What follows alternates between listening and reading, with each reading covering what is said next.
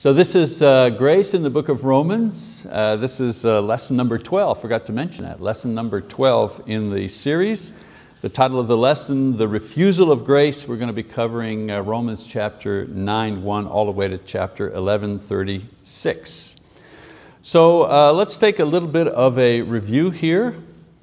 Uh, in chapter seven and eight that we covered uh, before, Paul answers the question on how God provides for saved people even though they are sinners. Remember the question was, if I'm a saved person, if, got the, if I have the Spirit uh, within me, why is it that I struggle with sin all the time? And how do I deal with that? And Paul uh, answers uh, that question by saying, well, God helps you to deal with the problem of being a regenerated you know, spirit inside of a fleshly sinful uh, body in two ways. One, He justifies you, He guarantees that your sins are forgiven, that's justification, and He provides you with the indwelling of the Holy Spirit, uh, and that Holy Spirit helps in the process of sanctification or spiritual maturation. So that's what we talked about last time. Now in chapters 9, 10, and 11, Paul is going to answer yet another question but this one dealing less with the gospel itself and more with the Jewish nation. Now two key doctrines among evangelicals come from this passage and so we're going to discuss this passage in light of these, uh, you know, these particular teachings among Baptists and other you know, religious groups uh, in a moment. Uh, we're going to do an overview of the three chapters and then read key verses. We don't have time to read everything, all right? So the key question I'm talking about is why were the Jews not saved? He's talked about how you're going to be saved and what Jesus did and He died on the cross and you get the Holy Spirit and you have all of this, how wonderful you know, God's mercy towards you. So the question is, well, you know, the Jews, they had all that access to all of this. Why weren't they saved? What, did they do wrong? So the key question discussed, why weren't the Jews saved? This question would be coming not from Jews, they would be coming from Gentiles. Because Christianity was a religion you know, steeped in Judaism. So the Gentiles are saying, wait a minute, you know, how, how come the Jews didn't, you know, how come they didn't get it? What's the problem? So we begin in chapter, uh, chapter 9. In chapter 9, Paul explains, uh, if the Jews had all the advantages, why did they fail to obtain salvation? And the first question in that larger question would be, did the law fail them? They had the law. Was the law no good? Did the law not you know, do its job? And Paul will answer, the law or the word of God, it didn't fail. It brings salvation to whom salvation has been promised. The promise, however, is not based on culture or heredity, but it is based on God's word. So let's you know, skip down to chapter 9, beginning in verse 6. He says, But it is not as though the word of God has failed. So there's an, in answer to that hypothetical question, you know, has the law failed? So he says, but it is not as though the word of God has failed, for they are not all Israel who are descended from Israel, nor are they all children because they are Abraham's descendants, but through Isaac your descendants will be named. That is, it is not the children of the flesh who are children of God, but the children of the promise are regarded as descendants. So he's saying the promise of salvation made to the Jews, is not based on culture. It's not based on the fact that you're related to Abraham in some way. The promise is based on God's word and, he doesn't say it here, but how you respond to God's word. And so he, he's establishing the basic premise for the entire argument that he's going to make in chapters 9, 10, and 11. So in the following verses, verses 9 all the way down to 29, Paul gives several examples where he shows that God's word is the basis for determining what happens. Not man's will, not man's work, and not his culture. Remember, the Gentiles are saying, well, they're Jews, they're related to Abraham, they got all the advantages, how come they didn't make it? And Paul's answer is, well, they didn't make it because they didn't respond to God's word. Not because they, there was something wrong with their genealogy, not because they were you know, culturally, you know, they, they were owed this simply because they, they were part of the uh, Jewish culture. And he, he'll name four different examples where this is so. And this is what we're going to look at here. He begins by mentioning Rebecca. Again, I don't have time to read everything. Uh, I'll simply paraphrase here. So he begins with the example of Rebecca. She was told by God's word that the older of her children would serve the younger of her children. And despite every human effort to change this, Jacob, the younger, eventually was served by Esau, the older. Because in the culture, it was the older child that received the promise, that received the, the double inheritance. You know, it was the older child that received the promise. But God's word said to Rebekah, in your case, that's not what's going to happen. In your case, the younger is the one that's going to receive the promise. And we know the story, how they tried to get Esau to get everything. You know, Jacob, uh, um, Isaac was trying to, uh, to, to, to give the promise to Esau. You know, he did everything in his power to give the promise to Esau. And what happened in the end? Jacob got the, Jacob received the, Jacob received the promise. So it's not culture or birth order that determines what happens, but God's word and God's promise. That's what determines what happens. He gives another example of Moses in verses 14 and 15. God told Moses that the fact that he was, uh, the fact that he saw God was because God decided to do it. Not because Moses asked, Moses asked God, can I see your face? And God said, well, I'll let you see you know, me passing by. Moses didn't get to see God because of you know, the fact that he was a leader of the Jewish people, because of the fact that he did, you know, he did many great things through the power of God. That's not the reason why he got to see God. He got to see God because God permitted it. Another example, the Pharaoh, kind of a negative example here in verses 16 and 17.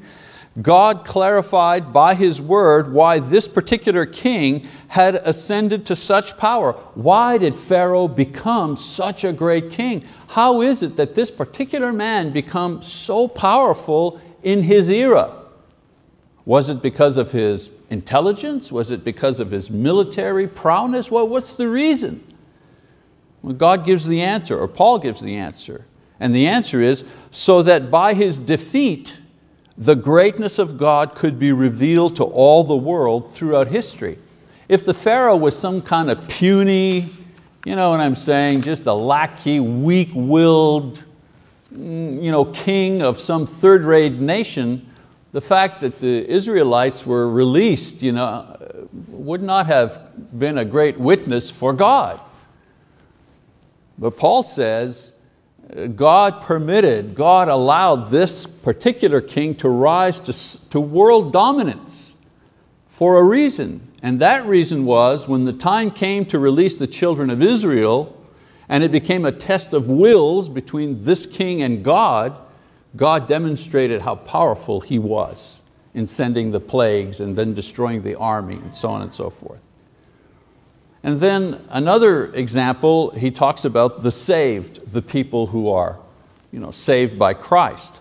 By the word of God, through the prophets, they were told that they would be called to receive God's promise. This example of how God's word is sure and never fails, its intended purpose acts as a bridge towards the final verses in which he makes his point about the Jews and why they failed to receive the promise.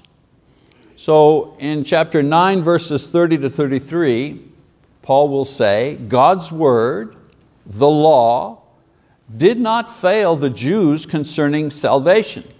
He's just shown that the word never fails anyone concerning anything. When God says this is going to happen, it happens. And he's given examples, right? When he said to Rebekah, the younger will serve the older, it happened.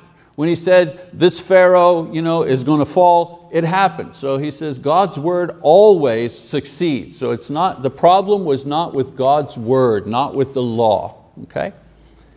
He said, it was the Jews themselves who failed the word, and by doing so, they missed the promise. So remember the question, why did the Jews fail? Was there something wrong with the word of God? Paul says, no, nothing wrong with the word of God. The problem was not the word of God, the problem was how the Jews responded to the word of God. Well then, why did this happen? So let's read the passage where he answers this question specifically. He says, what shall we say then? That Gentiles who did not pursue righteousness attained righteousness, even the righteousness which is by faith? But Israel, pursuing law of righteousness, did not arrive at that law. Why? Because they did not pursue it by faith, but as though it were by works. They stumbled over the stumbling stone. Just as, as it is written, behold, I lay in Zion a stone of stumbling and a rock of offense, and he who believes in him will not be disappointed. So why did this happen? First of all, Paul says, the Jews tried to obtain righteousness, right? Meaning acceptability before God. They tried to obtain righteousness through a system of adherence to a rule of law, rather than by the, what the word of God said. The word of God has always said that man attains righteousness through a system of faith. And all the Old Testament heroes demonstrate that. You know, Noah was not saved because he was you know, the best and most pure person. He was saved because when God told him do this and do that, by faith he did it. He responded to God by faith. And God's word never fails. If He says that we're saved by a system of faith, then that's the way we're going to be saved. Secondly, they rejected Jesus, the Savior. And in doing so, they lost the promise that He brought. And what was the promise that He brought? Well, the fulfillment of God's promises from old, forgiveness of sin, eternal life. He brought those promises to the people. And they, in rejecting Him, well, they also rejected those, those uh, blessings for themselves. So the word was able to deliver on its promises, but it, but it delivers on its promises based on its conditions, not your conditions. All right? And the Jews, Paul says, failed because they did not accept the word and they did not accept the conditions of the word. Well, what were the conditions of the word of God? Well, they had to believe in Jesus, that was the condition. You know, they said, well, we want to be saved, but we don't want this Jesus guy. Well, no, no, you're not going to be saved your way. All right, so that's chapter nine as, as, you know, as compressed as I can make it in the time that we have. In chapter 10, in chapter 10, in, this, in the first section, chapter 10, verses 1 to 15, Paul argues that God has always based the reception of His promises on faith. Now some argue that in the Old Testament, God worked with man based on a system uh, of law. And then in the New Testament, He works with man based on a system of faith and grace. I've actually heard people teach this in a Bible class, and that's, that's false, that's, that's incorrect.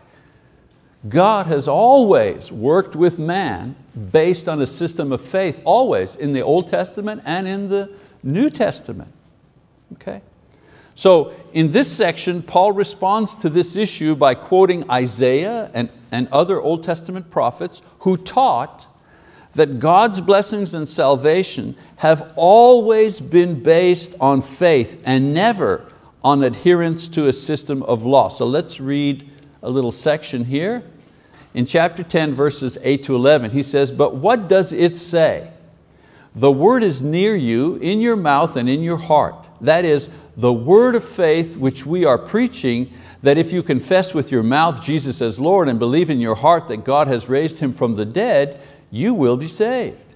For with the heart a person believes, resulting in righteousness, and with the mouth he confesses, resulting in salvation. For the scripture says, whoever believes in Him will not be disappointed. Does that passage of scripture sound familiar to you? Isn't this the passage of scripture that you most often hear quoted by our evangelical friends when they're having a meeting or on TV or something like that, when it comes to the moment of calling people to respond to the preaching. And that's because many evangelicals see these verses as the expression of faith that one must make in order to be saved. In other words, the, you, know, you have faith. Faith is believing as true what God has said. That's faith. The expression of faith, however, changes from time to time. For example, Noah's expression of faith was what? Well, he built the ark, right? Moses, his expression of faith was what? Well, he went back to Egypt and he faced the Pharaoh. All throughout, all throughout the Old Testament, there's always been a, an expression of faith that God required of individuals. So, our evangelical friends believe that this passage here contains the expression of faith that individuals must make or have to do in order to be saved. And that is that they believe in their hearts and they confess with their mouth that Jesus is the Son of God. So that's, that's their expression of faith, a mental assent and a, an open acknowledgement. But the correct expression of our faith in response to the gospel is not described here in chapter 10, it's described back in Romans chapter 6. This is where Paul is talking about how we respond to the gospel. How? All those who have been baptized you know, into Christ have died with Christ, right? And they raise up with Christ to the newness of life. Okay? In chapter 10, he's talking about law and faith. So again, for most evangelicals, Protestants, the answer to the question, how shall I respond to the gospel? The answer they find is here in chapter 10. Well, I just say, I believe. And uh, you know, acknowledge that Jesus is my Savior. Well, here's what chapter 10 really is doing. In Romans chapter 10, Paul is quoting Old Testament prophets in order to demonstrate that salvation by a system of faith was always what the word taught. It was nothing new with him. He was not introducing some new kind of doctrine. Okay? In the Old Testament, that faith was first expressed by circumcision. If you want to go back, what's that first expression of faith? Well, Abraham. He believed God. God said, all right, you're going to circumcise your family, your, the sons. And he did so. If you weren't circumcised, you were not part of the people of God.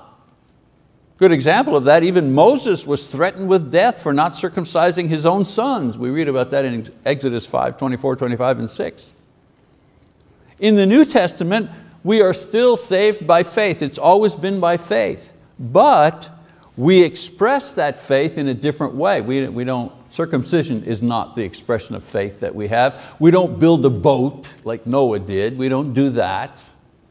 What is it that we do? Well, throughout the entire New Testament, we read that when someone believes that Jesus is the Son of God, the expression of faith called upon is to repent of sin and be immersed in water, to be baptized. That's the expression of faith. How do we know that? We'll go all the way back to Acts chapter 2, where Peter stands on the day of Pentecost and he preaches the very first full gospel message. And in answer to the question of the crowd, the crowd says, well, men and brethren, what are we going to do? We, we've crucified our own Savior. What shall we do? And what does Peter answer? Repent every one of you, and be baptized in the name of Jesus Christ for the forgiveness of your sins, and you shall receive the gift of the Holy Spirit. That's the proper expression, the biblical expression of faith. All right, so, the, so what about chapter 10? What's this all about? Well, the point of the passage is that as it has always been, the word guarantees that all who call upon God in faith will be saved. And in Romans chapter 6, Paul explains that the proper expression of faith, as Peter does in Acts 2, is to repent and be baptized. Now in chapter 10, verses you know, 16 to 21, Paul makes the point that in the Old Testament, the people heard the word first through the prophets, then they heard it through Christ, and then they heard it through the apostles. But this word always promised salvation by faith. The problem was the people didn't always respond to it by faith. So by the way, you know, just for your own edification, remember these two, you know, learn to differentiate these two. In Romans 6, it's the expression of faith. How do we express our faith in the process of salvation? In Romans chapter 10, Paul is talking about the system. What system does God use in order to save people? And the answer to that is, well, it's a system of salvation through a system of faith. He's, he's kind of comparing uh, salvation by law or salvation by faith. And in chapter 10 he's saying, no, it's always been salvation by faith. Okay? The problem as far as the Jews is concerned, they didn't respond with faith. Therefore, they didn't express that faith. Uh, isn't that correct? Didn't they come to John the Baptist and refuse to be baptized? Refuse the expression of faith? So even this rejection was known and recorded by God in His word. In other words, His word did not cause the rejection, but it recorded it. It even predicted it. That's the amazing thing. The word of God even predicted that the Jews would ultimately reject Christ, reject the system by which God established salvation. So this prediction demonstrates in an ironic way how God's word never fails. One more example of this mm, principle. So Paul shows how the word, the law, never fails, even in predicting the infidelity and failure of the Jews themselves. You know, we've covered a lot of things here, but remember the question, the original question, uh, why did the Jews fail? Uh, was there something wrong with the word? And Paul says, no, nothing wrong with the word. It always succeeded. It always did what it said. It always, you know. And, and as the kind of cherry on the cake, it even predicted that the Jews would reject not only the Savior, but the system as well. All right, chapter 11. Another question arises. It's a but question. But the word says that God will preserve Israel and save His people. Has God failed in this? Has the word been incorrect? So Paul answers this in chapter 11 and his answer is, well, no. Even among the Jews, there are some who have received the promise by faith. In other words, not all Jews have been rejected. He has saved many of them. I mean, Peter and the 12, the 500 disciples mentioned in 1 Corinthians, the 3,000 who were baptized at Pentecost, the Jews who believed with Paul's missionary work, and all of those Jewish people who have believed since. So not all the Jews rejected, some, not the majority, but some have. So in Romans chapter 1, Paul explained that those who reject God, God permits them to disengage from Him right? It's as if he says, oh, you don't want to obey me? You want to sin? Okay, go ahead, fill up your cup. That's what you want to do. Well, in the same way, the prophets spoke of those among the Jews who would, uh, who would uh, be let go. God does not keep a person or a people against their will. So let's read 11. Let's skip over to 11, verse 7. He says, What then? What Israel is seeking, it has not obtained. But those who were chosen obtained it, and the rest were hardened. Just as it is written, God gave them a spirit of stupor, eyes to see not and ears to hear not, down to this very day. And David says, let their table become a snare and a trap, and a stumbling block and a retribution to them. Let their eyes be darkened to see not and bend their backs forever. So God has not failed. He has saved His people, those who have come to Him by faith in Christ. These are His saved people and they are saved. And those who have rejected Him will, as the word has promised, be rejected and lost forever. So nothing wrong with the word. It's the people that have made the mistake. In this case, he's talking about the Jewish people. Now, in verse 11 to 24, there's another question. And the other question is, does this mean that there is no hope for the Jewish people? So in verse 11 he says, I say then, they did not stumble so as to fall, did they?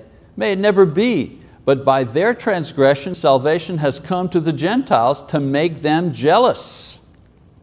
So Paul responds to that question that God uses their failure not to annihilate them, but to bring others to salvation and to motivate them, the Jews, to believe. So when the Jews themselves respond, it glorifies God because the promise goes full circle. Promise to the Jews, they reject it, it goes to the Gentiles, they accept it, and because of their acceptance, whoops, some of the Jews accept it as well. Full circle. He also uses this section to warn the Gentiles who accepted the gospel not to use this as a reason to boast or to despise the Jews. So in verses uh, 20 and 21 he says, quite right, they were broken off for their unbelief, meaning the Jews.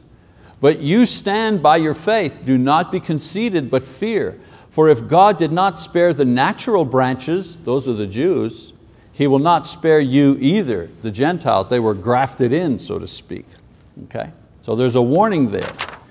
In chapter 11, 25 to 32, he reveals a prophecy. Let's look at that.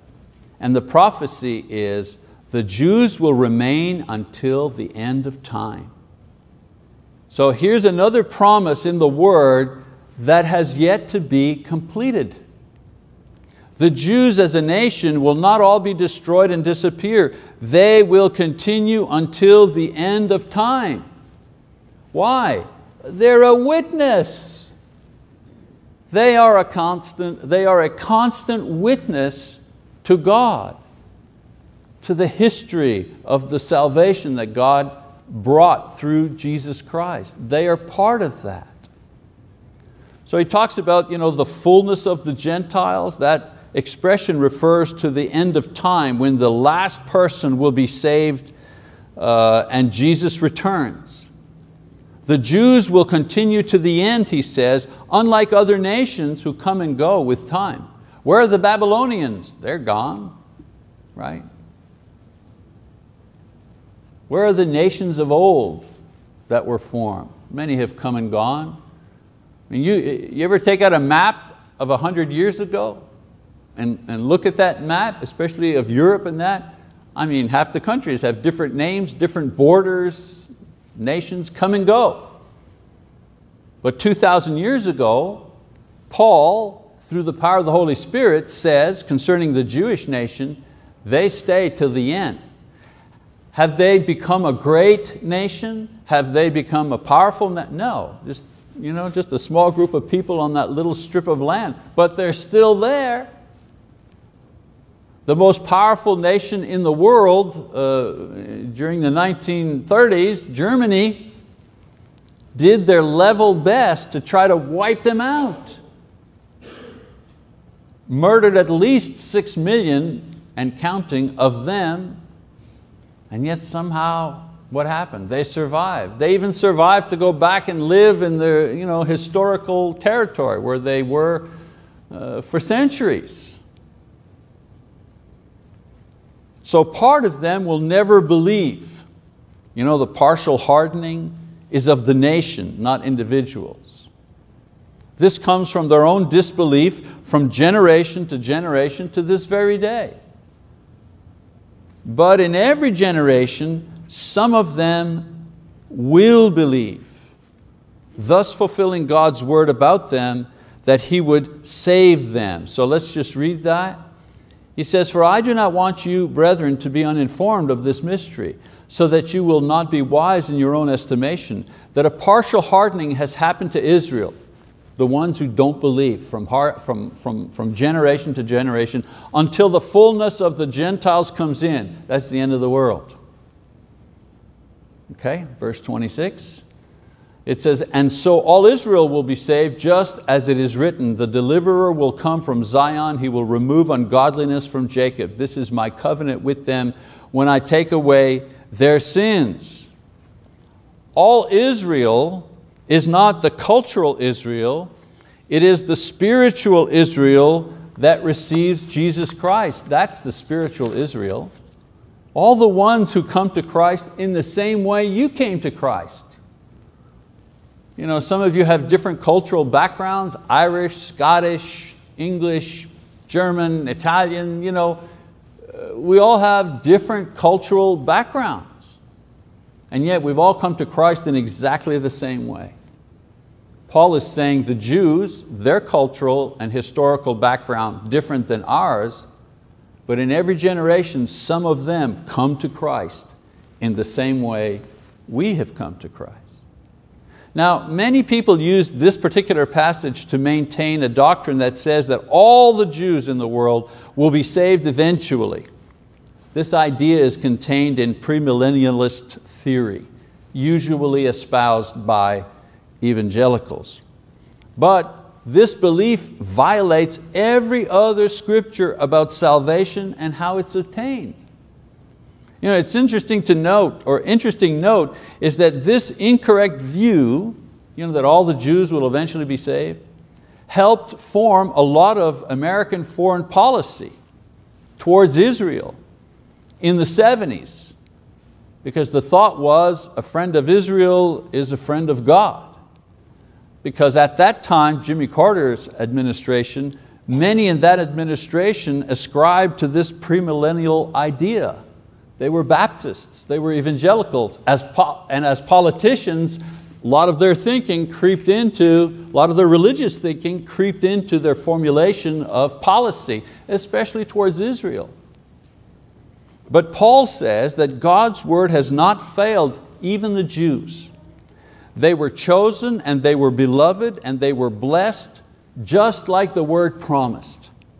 They were the very first to receive the promise I mean, Jesus was a Jew. And those who received it by faith were saved. So not all the Jews were saved, but some were. We read about it at, uh, you know, in Acts 2, 3,000, mostly Jews or converts to Judaism became Christians. Paul also warns the Gentiles to be careful about their attitudes towards the Jews, since it was Gentile unbelief that caused God to create a Jewish race through Abraham, it was Jewish unbelief that helped spread the gospel to the Gentiles. And it is through Gentile belief that the gospel is being spread back to the Jews. I mean, there is a church of Christ in Jerusalem. You know, I've met with that church. So Christ's word is being spread by Gentiles, not Jews. There's the irony of it. But God maintains the Jewish people as a witness throughout history. So in this way, both Jew and Gentile see their need for each other and God uses both to save the other. In chapter 11, verses 33 to 36, Paul says, Oh, the depth of the riches, both of the wisdom and knowledge of God. How unsearchable are His judgments and unfathomable His ways. For who has known the mind of the Lord or who uh, became his counselor? Or who has first given to him that it might be paid back to him again? For from him and through him and to him are all things. To him be the glory forever. Amen. A doxology of praise, spontaneous praise, that's what a doxology is. Peter gives a doxology for the way that God has woven all of these things together to accomplish His purpose. So let's summarize what we've talked about this morning. The question originally was, why did the Jews fail to obtain salvation and grace? Did the law or the word, uh, or the word fail them?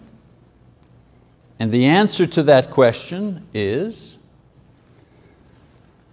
Paul demonstrates that God's word has never failed and he gives many examples of God saying something is going to happen and it happens. Secondly, he explains that the Jews failed to receive the promise because they tried to obtain it by works and not by faith.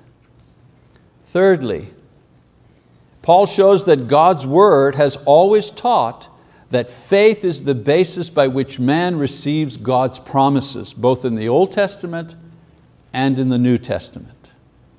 Number four, he also shows that the Jews never responded properly to the word and this fact was actually predicted by the word. That's how sure the word is.